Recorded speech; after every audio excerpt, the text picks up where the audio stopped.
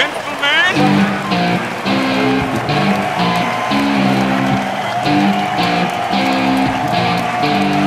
It's a beautiful snapshot of the band in all its glory.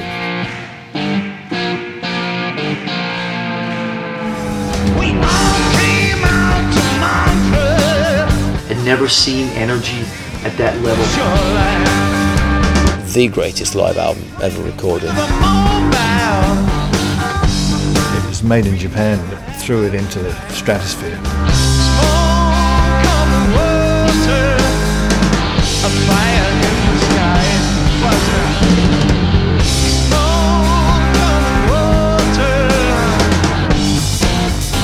The two versions of Smoke on the Water, both in the American top 10 at the same time.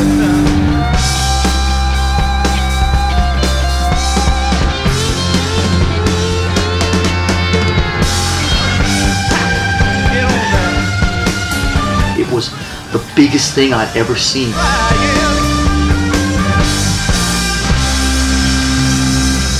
It was a calling card. It said, you know, this is Deep Purple.